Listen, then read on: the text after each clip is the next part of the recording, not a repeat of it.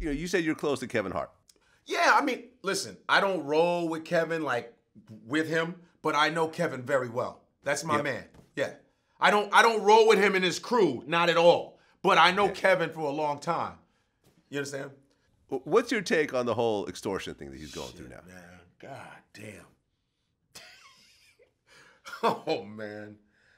First of all, it's none of my business. Another, first off, I mean, I feel bad for the guy, but you, his stat, he he's at such a high status. I mean, he's one of the he's the most famous comedian in the world, bro. Like little Kevin, Kevin annoys me because I'm mad at his success. We we fuck around with each other. I'm angry at his dumb success, but when you're that when you're at that level, man, and Kevin, you know, er- his business sense is phenomenal. First of all, his business sense, he's become an entrepreneur. His LOL, I've done stuff on his new LOL channel.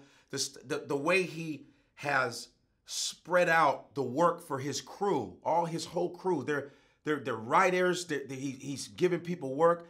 His whole work ethic is phenomenal. I mean, we can actually learn from the shit that he's doing. But when you're at that level, man, you gotta be careful with your shit, man. I'm sorry. You gotta be careful. And it does it didn't look good the fact that she was pregnant too. Like, oh man. Wait, it- oh, his wife Yeah, pregnant. his yeah. wife's pregnant, and then like you know what I mean? It's like during like that period is like how it's like sacrilege. You have a child. You have a child and you're doing this shit. I I was like, I kind of threw my hands up and like, hey man, I hope they work that shit out. You understand what I'm saying? But he has to know when you're at that level, man. There's if you and you know what this girl who's what's her name? What's this chick's name? Who says It, she's it don't a- e- it don't even matter. She's oh, a wait, writer. You're talking about the a- girl he, he messed with? Yeah. Sa- Saga, what's her Saga, Sa- whatever the fuck her name is. What's her name? Saggy ass. fuck is her name? Baggy, baggy face. What's her name? She, she you know what? You, this is how I think she's trying to extort. Um, Montia Sabbag. Oh, Sabbag. Sabbag. Monty is Sabbag Hag, right? Listen, let me tell you how I feel like it's an extortion thing.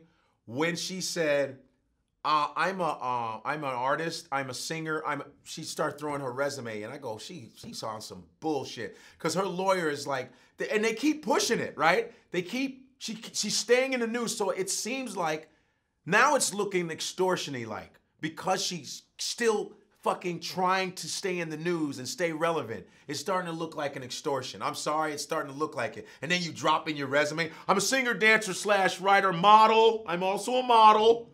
Just to let you know, um, I have a record deal. I'm hoping to get another one, and this has interrupted my my. You know, come on. So I don't know, but all I can say is when you're at a level like that, all eyes are on you. Period. That's all I'm saying. Cause I'm not I'm not Kevin Hart. I'm not in this business, and I ain't no fucking saint. You know what I'm saying? I'm not gonna say what you need to do, Kevin, when you need to, please. All right? I'm a fucking, I'm a bastard. I'm a creep. All right.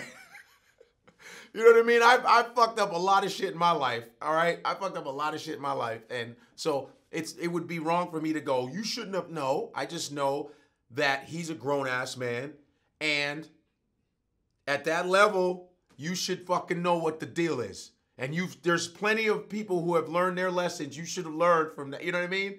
So it's it's one of those things where now he's just got to deal with it, and I just hope he works the shit out. We'll see what happens. I I'm just sitting back.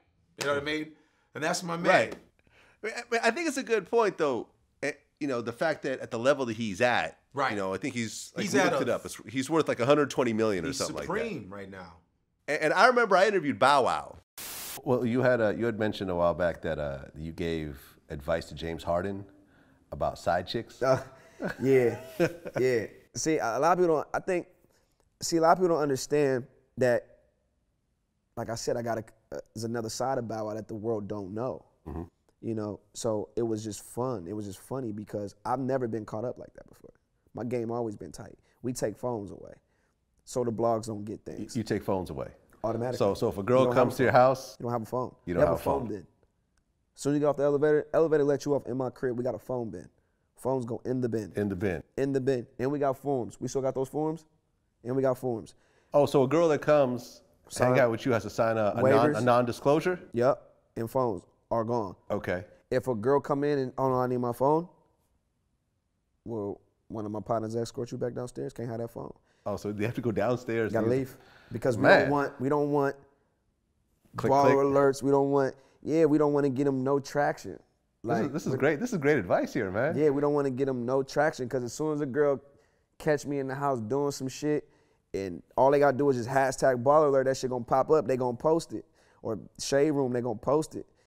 It's a booty contract. It's Right. a booty. I remember when, yo, when Charlie Sheen Yeah. announced that he had HIV. I know a I knew a girl oh, who had messed with him. Oh boy. And I said, "Hey, do you want to do an interview about this? Because this is, you know, because she didn't know he was HIV positive. She's like, I signed so many forms when I went into that house. Really? And I can't, I can't say shit. she she oh so she's just stuck with AIDS. Well, hopefully not. So she, she- no, she got a wart on her lip. Like, well, that's how it goes. I signed the contract. I- hey, you got an AIDS bump. Well, I signed for it.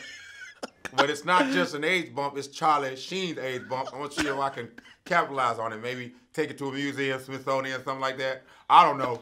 But it is what it is. I signed the contract.